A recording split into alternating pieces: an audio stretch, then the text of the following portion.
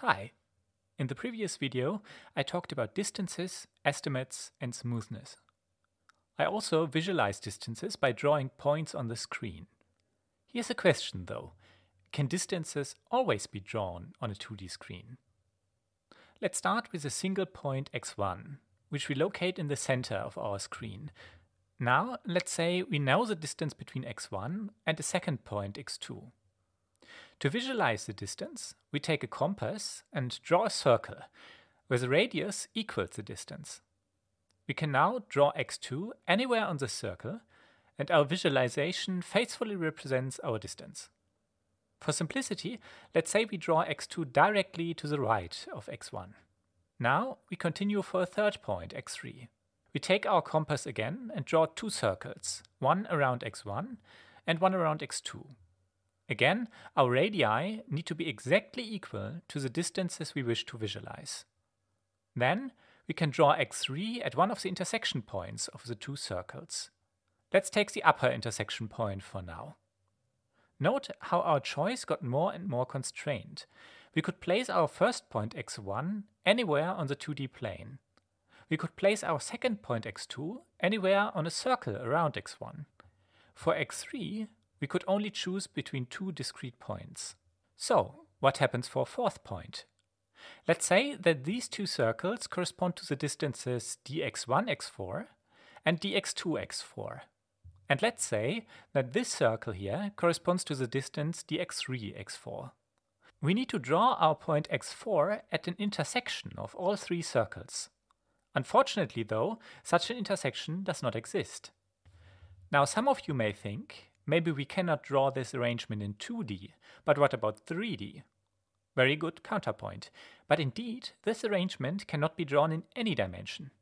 To see this, let's shift perspectives. We now see our points x1, x2 and x3 from the side, with x1 and x2 exactly behind each other.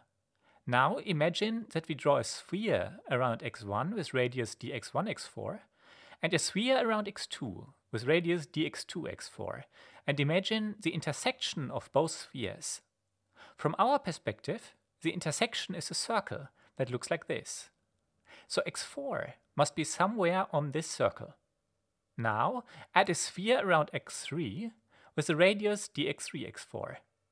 You'll notice that the sphere and the circle still do not intersect, even though we are in 3D and not in 2D anymore.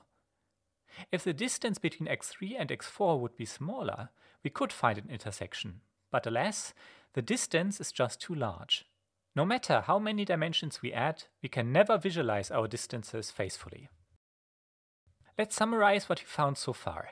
First, we found that we can draw any distances between three points in two dimensions. We also found that there exist some distances between four points, which we cannot draw in any dimension.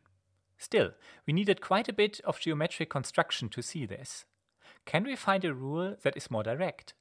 Indeed there is, but it requires a bit of linear algebra, so strap in. First, let's be a bit more precise about what we mean by drawing distances. Let's say we have an m times m matrix of pairwise distances.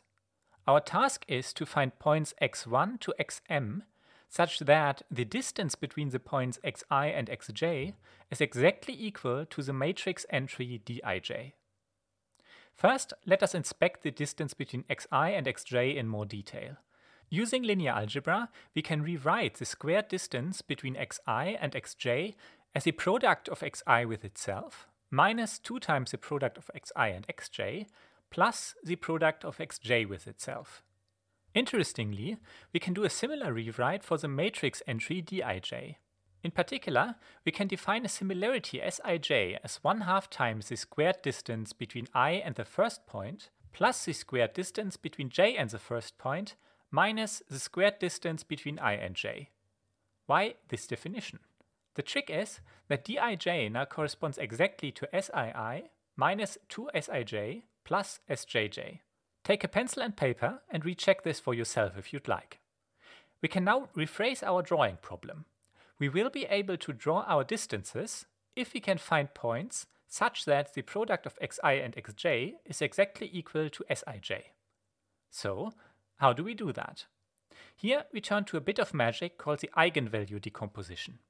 The eigenvalue decomposition is super important in linear algebra and has many fascinating properties.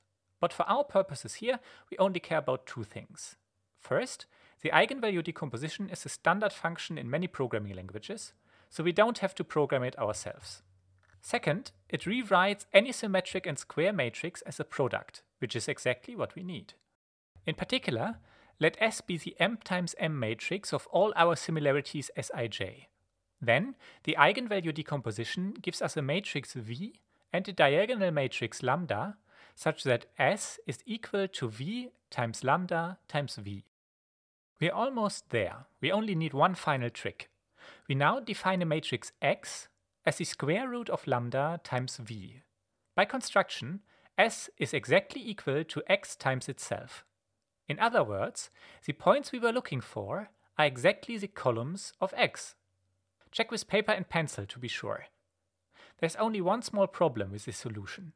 We need to apply a square root to lambda. And this square root only works if lambda is positive or zero. This is the general rule we have been looking for. If lambda is positive or zero, we can draw our distances. But if any entry of lambda is negative, drawing is impossible, at least in the real numbers. Let's recap. We have a general recipe for drawing distances dij between m objects. We first compute similarities Sij via this formula here. Then we compute the eigenvalue decomposition of our similarity matrix. Next, we check if any entry of lambda is negative. If it is, we stop, because drawing is impossible. Otherwise, we set our points to the columns of x, which is the square root of lambda times v. And that's it. That's how you draw distances.